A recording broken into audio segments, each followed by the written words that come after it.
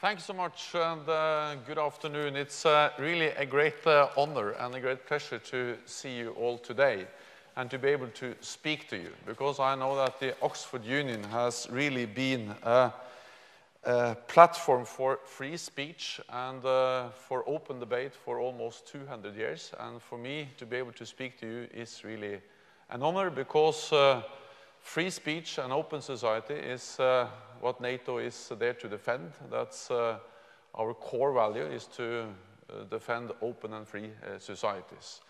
And uh, I would also like to tell you that there are many alumni from Oxford that have, and people who have been member of this union for many years that have served in NATO for many years. one general called uh, Wesley Clark. He was our Supreme Allied Commander for some years, and he is an Oxford uh, Union uh, member. And also my Assistant Secretary General sitting there, uh, Patrick Turner. Uh, uh, he is responsible for operations, and he, he's, he, he's a member of the Union. He studied here, and he told me just now that he studied medieval history and medieval war, and then he started to work for NATO, which was uh, what shall I say, not only good news. Uh, so um, my task, or what I will do today, is that I will uh, try to be brief, not too long, uh, and to share with you uh, some reflections on NATO and how NATO is adapting to a new and more uh, demanding security environment. And after that, I'm happy to take questions and answer. So to have time for that, I will try to be brief uh, Uh, not covering all the issues, but at least uh, pointing out some of the main challenges we face as, uh, as, uh, as an alliance uh, today. And NATO's core task, being a military and political alliance, is to defend and protect all allies, 28 member states from Europe and US and Canada. And we do so by um, so by protecting and defending each other while standing together based on the principle or the idea of uh, one for all and all for one. And uh, this idea or this principle is uh, enshrined in our founding uh, treaty, uh, uh, the Washington Treaty, in something called Article 5, which is our collective defense clause.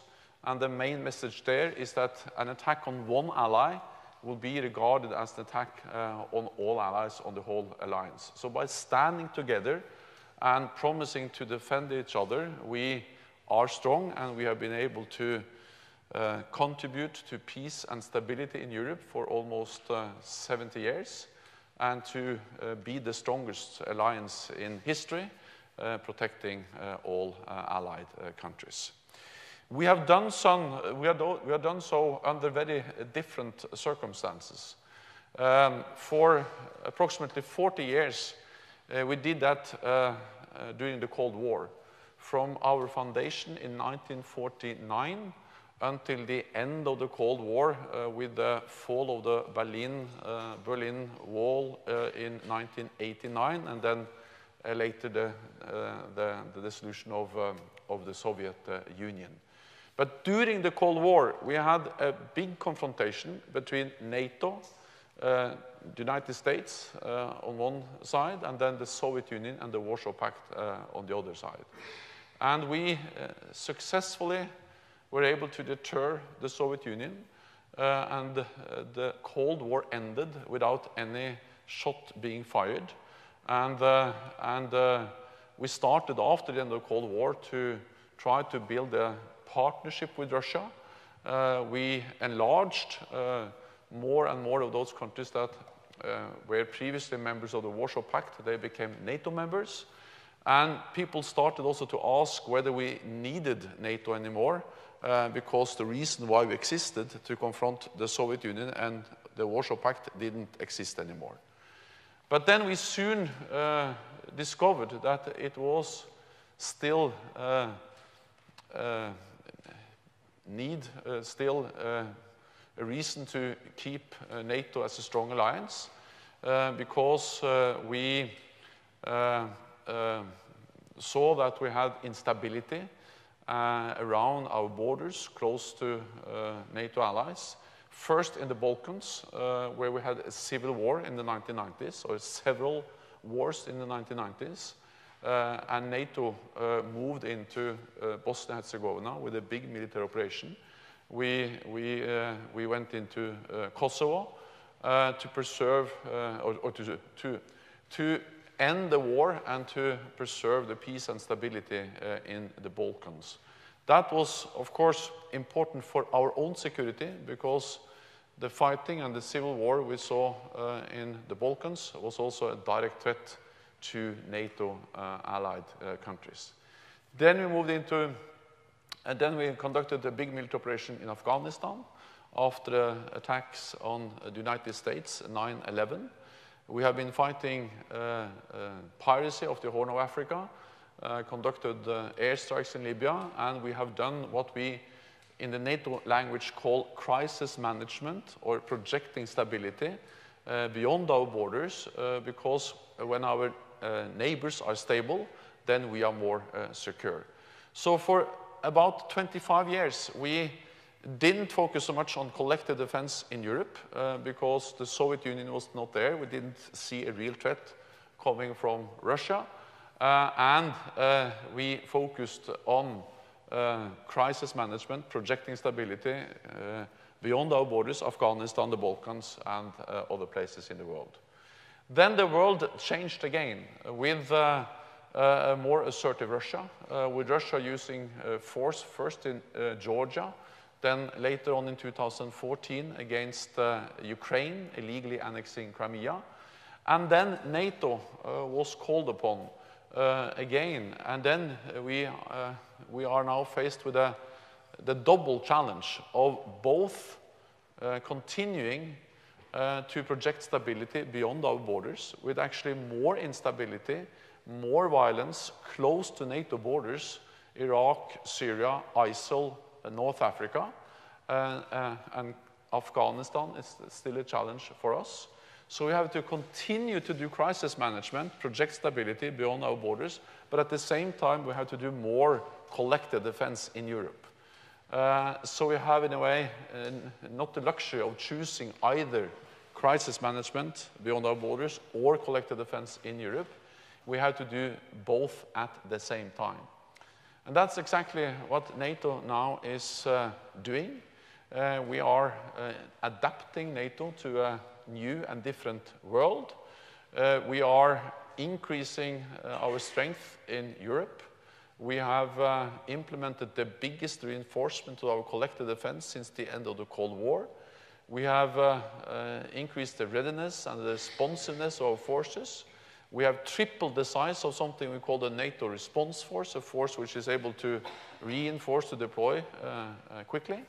And then we have also, for the first time, deployed forces, or we are in the process of deploying forces uh, to the eastern part of the alliance with battle groups in the three Baltic countries and uh, to Poland, and also uh, increased presence in the southeast of the alliance. Uh, we do this uh, because uh, we, um, for us it is, of course, the core responsibility is to continue to provide the necessary deterrence uh, uh, to prevent the war, not to provoke a war. And, uh, and we have adapted to a more assertive Russia being responsible for aggressive actions in Ukraine. The important thing to remember is that what NATO does is defensive it is proportionate, and we don't want a new Cold War. We don't seek confrontation with Russia. And we uh, therefore keep the challenge for political dialogue open with Russia. Uh, and we are not strengthening our defense because we want to fight the war, but we are delivering strong deterrence because we know that that's the best way to prevent a war. Um, we are at the same time, we are also now uh, starting to increase defense spending because this, this has a cost. Uh, so uh, uh, uh we decided at our summit uh, in Wales in 2014 that we needed to invest more in our defenses.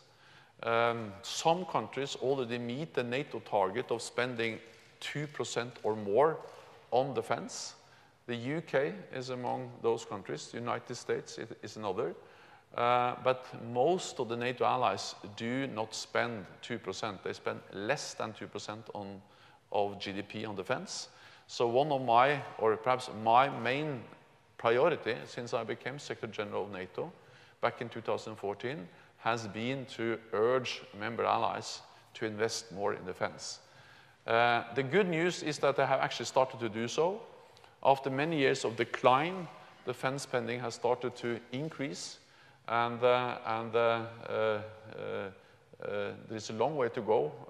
there is still much to do, but at least it is a good thing to see that more and more allies understand that they have to invest more in our security when times are uh, changing and when we see a more challenging and demanding security environment.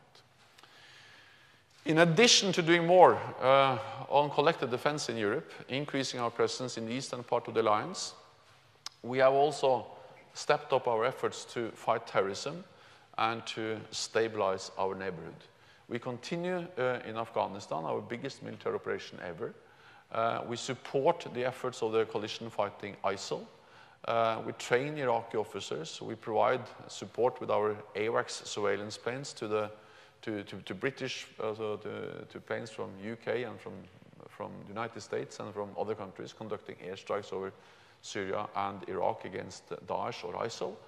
And we also work with other countries in the region like Jordan and Tunisia to help them uh, being able to fight uh, terrorism and to stabilize their own, uh, or to maintain their own countries as stable countries in uh, the region. Uh, we are also present in the Mediterranean. Uh, we have deployed ships to the Aegean Sea to help cut the lines of illegal trafficking over the Aegean Sea.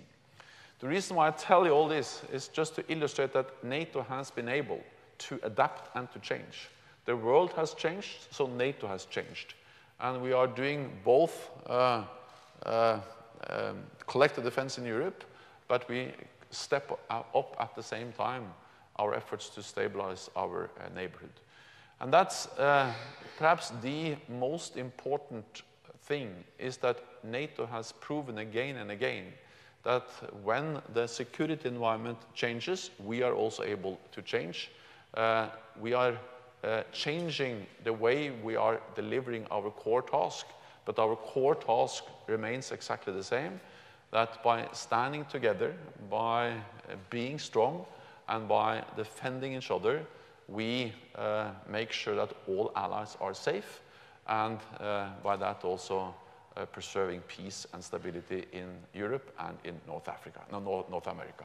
So for NATO, uh, it is important to continue to be united, and that's the most important strength of our alliance. I will stop there to make sure that we have time for some questions. Thank you so much.